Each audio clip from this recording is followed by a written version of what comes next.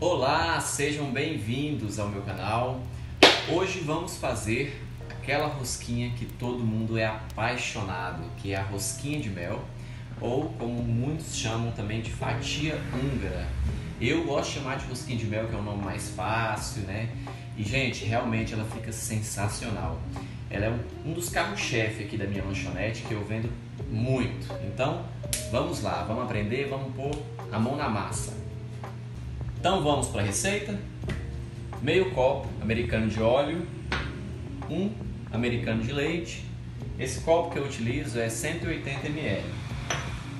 Tenho 10 gramas de sal, 10 de fermento biológico seco. Se você gosta de trabalhar com o fresco, você é, coloca 30 gramas, tá?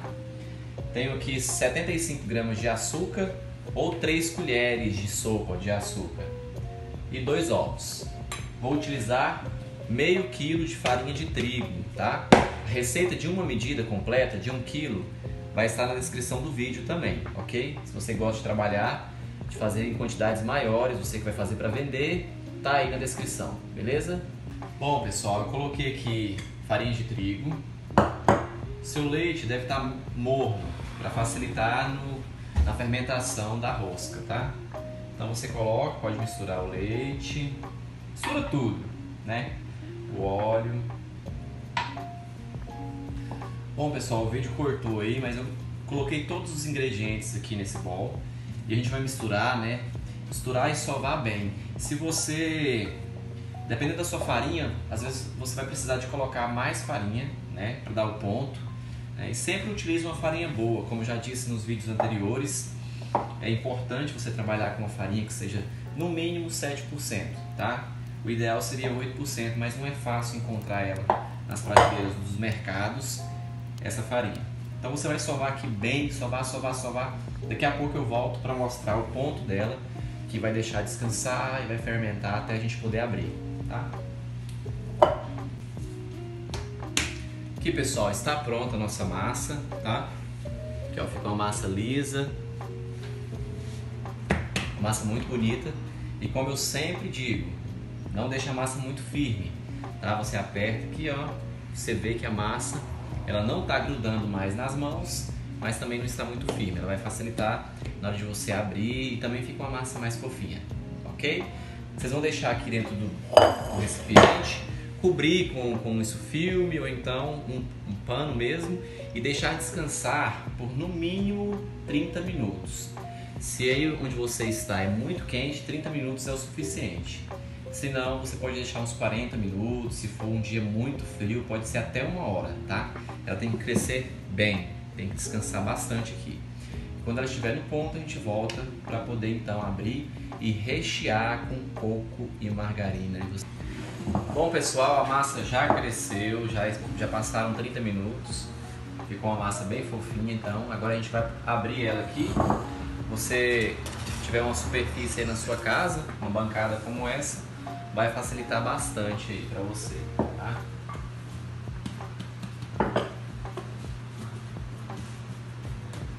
Para não ficar um vídeo muito longo, eu vou abrir ela aqui e mostrar para vocês como ficou.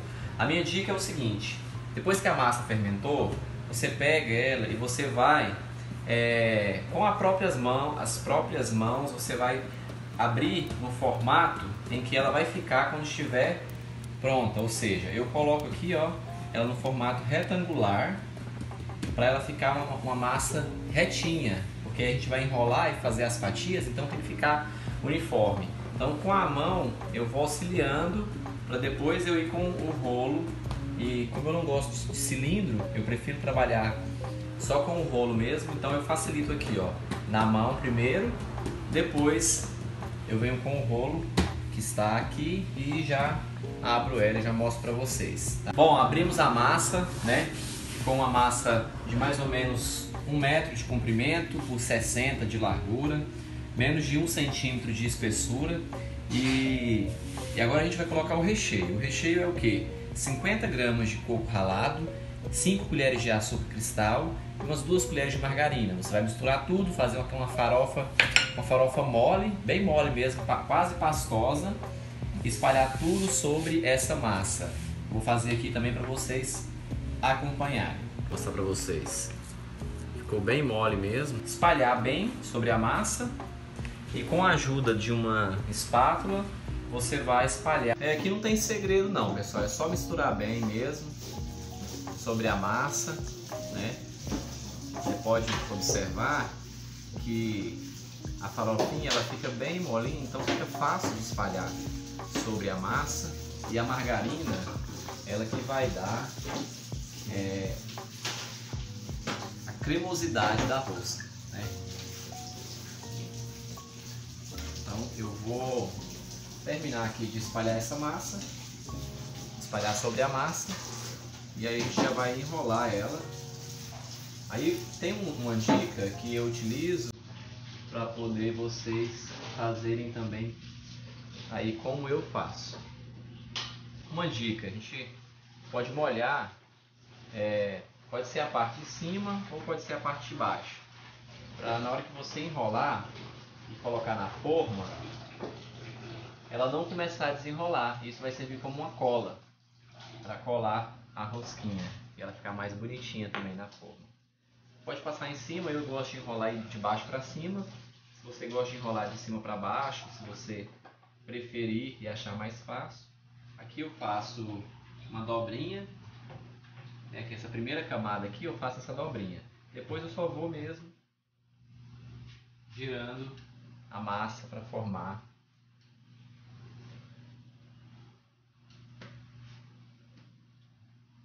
isso. E é esse espiral que a gente vai cortar. Tá? Então pronto. Enrolada, a gente vai cortar. A espessura de cada rosquinha, ela varia entre 2 centímetros, isso também vai de cada um. Se você quer uma rosca maior, você não deixa a massa então muito comprida, você vai colocar ela é, menor a massa um pouco mais grossa, então você vai ter uma rosquinha maior. Nesse caso, eu gosto de trabalhar com ela nesse tamanho porque a massa fica mais fininha, né? Então ela fica mais recheada e, e absorve, né? Bem a calda também, então fica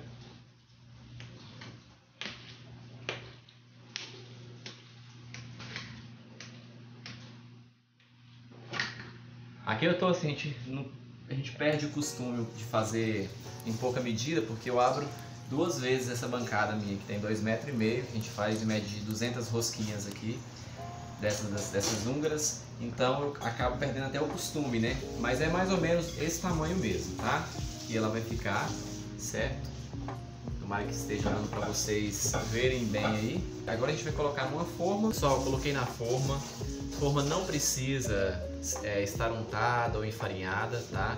porque após ela estar, após, porque após a gente tirar ela do forno, a gente vai colocar a calda nessa mesma forma, né? Então tá aqui, coloquei ela na forma. É, aqui ela vai descansar mais uns 40 minutos. Importante ela crescer bem, tá? Bem mesmo. Se, na sua região, volta a dizer, estiver mais frio, então deixe uma hora, uma hora e dez, não tem problema. Interessante ela fermentar bem, crescer bastante.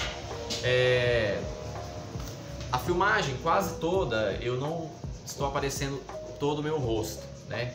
Isso não é muito legal, mas assim, é, infelizmente eu gravo sozinho, então o telefone ele fica num suporte. Eu mesmo que dou a pausa e vou lá e edito depois, então toda funcionária vai atender, eu tenho que pausar o vídeo para não sair o barulho. Então é assim, mas vai indo, eu faço o possível para estar aqui com vocês, passando essas dicas, essas receitas.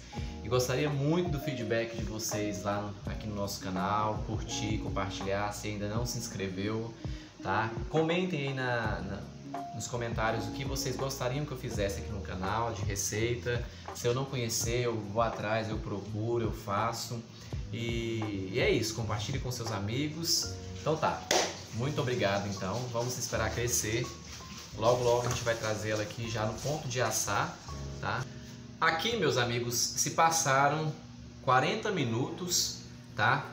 É, aqui a minha cozinha ela é bem quente, por sinal, então cresceu bem, cresceu rápido, tá? Mas pode chegar aí até uma hora o crescimento, até uma hora e dez minutos, também depende. E aqui eu vou levar para o fogo pré-aquecido a 180 graus, Depende muito do seu forno. Se for o seu forno elétrico, pode colocar 200 graus, né? Porque ele é mais, um pouco mais, fraco. Aqui o meu é a laço, forninho de pedra, que por sinal é muito bom esse forno.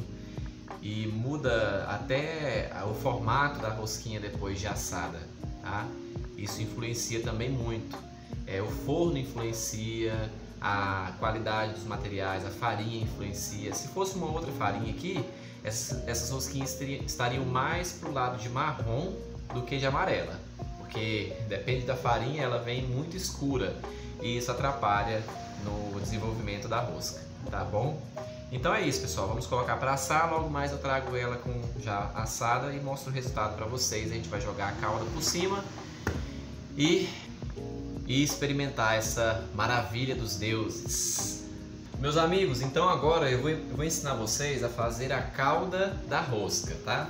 A calda da rosca, para essa medida, eu vou utilizar meio litro de leite, vou utilizar uma colher de sopa rasa de maisena, tá?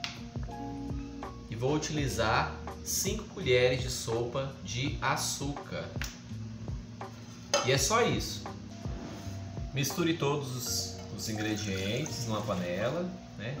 O leite, o açúcar.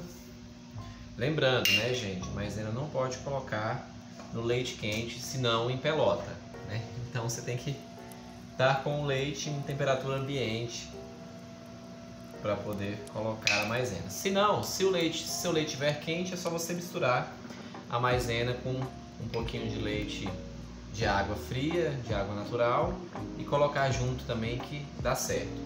A maisena já dissolvida, né? Aqui você leva no forno, no fogo e misture bem até dar uma, uma leve engrossada, tá? Não vai ficar aquela textura de, de, de recheio, de bolo, é, de creme belga, por exemplo, né? Um creme.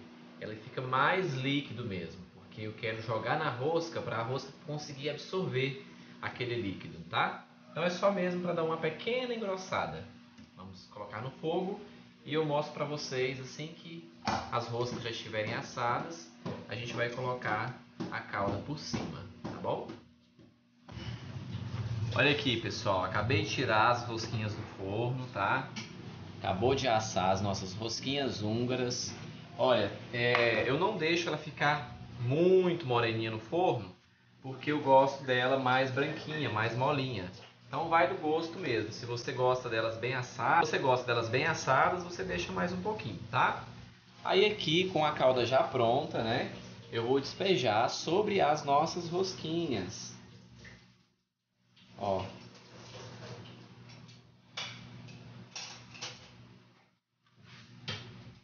Vou chegar mais perto aqui para vocês verem.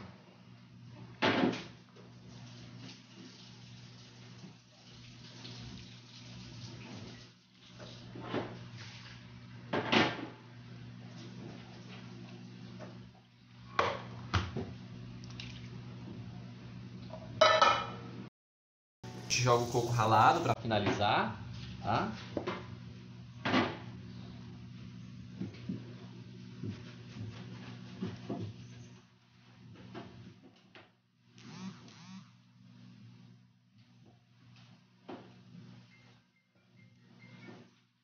E aqui você espera 30 minutinhos para poder servir, que é o prazo em que a rosca vai absorver essa calda e ela vai ficar mais molhadinha, mais saborosa tá? Então é isso. Jogamos a calda, jogamos o coco ralado, espera uns 30 minutinhos, depois você já pode servir essa maravilha que é rosquinha de mel. Bom, meus amigos, agora chegou a melhor hora, que é experimentar a nossa rosquinha.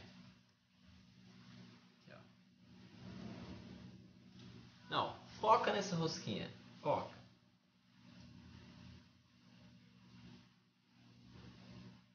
Muito boa mesmo, maravilhosa. Eu gosto, eu particularmente gosto de comer ela assim, ó, tirando os pedaços.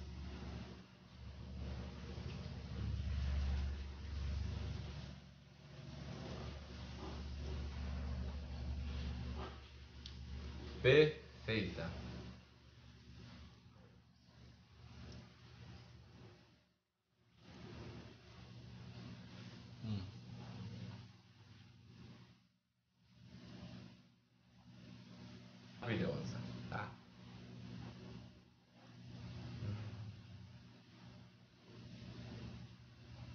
Podem fazer em casa.